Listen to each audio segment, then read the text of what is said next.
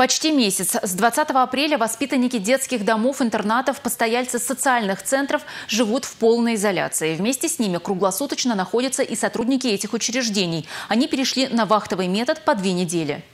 Каким творчеством мы сегодня занимаемся? Мы сегодня делаем цветочки из органзы. У нас есть органза, есть заготовки для лепестков. Из заготовок мы делаем лепесточки, сшиваем их нитками. Получается, делаем 11 штук и делаем цветок.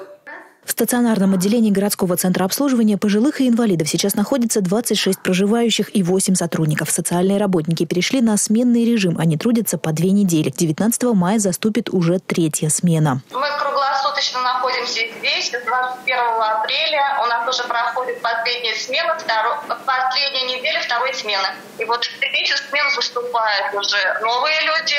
Они находятся на самоизоляции. И по результатам проведения тестов на коронавирус, они приступят к работе в третью смену уже. То есть все, кто сейчас на смену во вторник придет, они все сдавали анализ на коронавирус? Сдадут.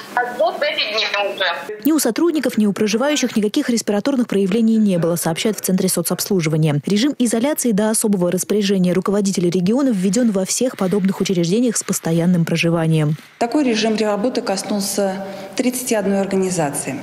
Напомню, что в изоляции находятся у нас проживающие в них э, пожилые граждане, их более 2700, а также порядка 450 сотрудников интернатов и домов ветеранов. Мы ведем ежедневный круглосуточный мониторинг здоровья подопечных и сотрудников наших учреждений. Валентина Михайловна больше года живет в стационаре Чебоксарского центра соцобслуживания. С введением изоляции изменился распорядок дня.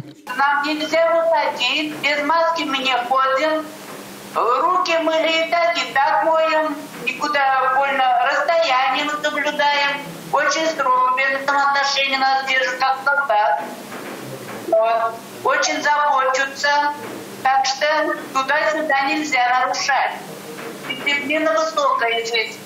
Каждый день у них расписан по программе обязательные спортивные занятия, лечебно-профилактическая гимнастика, устраивают и турниры. На прошлой неделе завершился шахматно-шашечный и песенный. На этой проходит интеллектуальный и конкурс чтецов. Я не жду особенных подарков, хочу от жизни одного, чтобы она была бы в меру яркой, а не черная, словно воронье. А в душе, чтоб музыка звучала, и стихи рождались в голове, чтобы я обидчиков прощала и ценила тех, кто дорог мне.